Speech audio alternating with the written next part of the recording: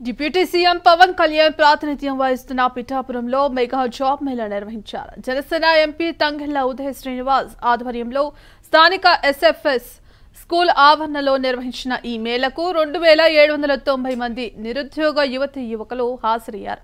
నలభై కంపెనీల్లో ఉద్యోగాలకు ఆయా కంపెనీ ప్రతినిధులు రాత పరీక్షలు ఇంటర్వ్యూలు నిర్వహించారు. అనంతరం పదిహేను వేల రూపాయల నుంచి నలభై వేల రూపాయల వరకు వేతనం లభించే ఉద్యోగాలకు ఏడు వందల ఎనభై మూడు మందిని ఎంపిక చేశారు. ఎంపికైన వారికి MP Tangella Uday Srinivas joint collector Rahul Meena నియామక ఉత్తర్వులు అందజేశారు. జాబ్ వేలకు తరలివచ్చిన నిరుద్యోగులకు నిర్వాహకులు భోజన సదుపాయం కల్పించారు. ఈ సందర్భంగా ఆయన ఉదయ శ్రీనివాస్ జాయింట్ కలెక్టర్ రాహుల్ మీనా మాట్లాడుతూ చదువుకున్న యువతకు ఉపాధి కల్పించడమే లక్ష్యమని అన్నారు. నిరంతరాయంగా జాబ్ మేళలు నిర్వహిస్తామని పేర్కొన్నారు.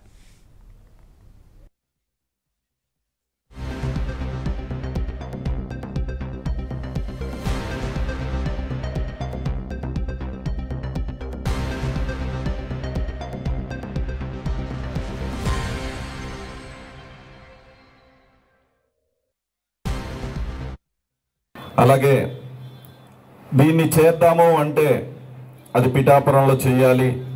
పిఠాపురంలో యువతకి అలాగే కాకినాడ పార్లమెంట్లో ఉన్న యువతకి జాబ్స్ అంటే ఎలక్షన్కి ముందు ఇచ్చిన హామీ ప్రకారం కంపల్సరీగా వాళ్ళందరికీ జాబ్స్ వచ్చేలాగా ఒక ప్లాట్ఫామ్ని అందులో ఒక్క రూపాయి కూడా ఎవరికి ఇవ్వకుండా ఇన్వాల్వ్మెంట్ లేకుండా పిఠాపురంలోనే ఇలాంటి ప్లాట్ఫామ్ క్రియేట్ చేయాలి అని చెప్పి వచ్చిన రెండు నెలల్లోనే ఇలాంటి ప్లాట్ఫామ్ క్రియేట్ చేయడానికి పూర్తి సహకారం అందించి దానికోసం ఎంతో కృషి చేసిన మన ఎమ్మెల్యే అండ్ మన రాష్ట్రానికి మన పిఠాపురానికి ఎమ్మెల్యే డిప్యూటీ సీఎం రాష్ట్రానికి డిప్యూటీ సీఎం పవన్ కళ్యాణ్ గారికి కూడా నా హృదయపూర్వక ధన్యవాదాలు.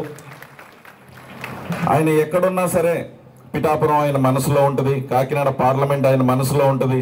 ఏది మొదలుపెట్టినా అది ఇక్కడి నుంచే మొదలు పెడతారు. జిల్లా రివ్యూ మీటింగ్ కూడా మన జిల్లా నుంచే మొదలు పెట్టారు. ఆగస్ట్ ఫిఫ్టీన్త్ అయినా సరే ఇక్కడి నుంచే జెండా ఆవిష్కరణ చేశారు.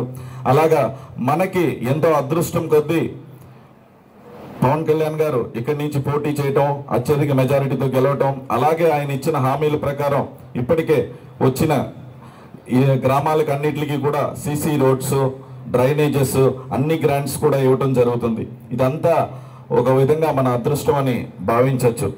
అలాగే దీనికి ఈ ప్లాట్ఫామ్ని క్రియేట్ చేయడానికి చాలా చక్కగా సహకరించిన జిల్లా కలెక్టర్ గారికి అలాగే పిఠాపురం ఇన్ఛార్జ్ మర్రెడ్డి శ్రీనివాస్ గారికి మన మున్సిపల్ కమిషనర్ గారికి ఎంఆర్ఓ గారికి అలాగే కొత్తగా వచ్చిన మన జాయింట్ కలెక్టర్ గారికి కూడా నా హృదయపూర్వక ధన్యవాదాలు తెలుపుతున్నా.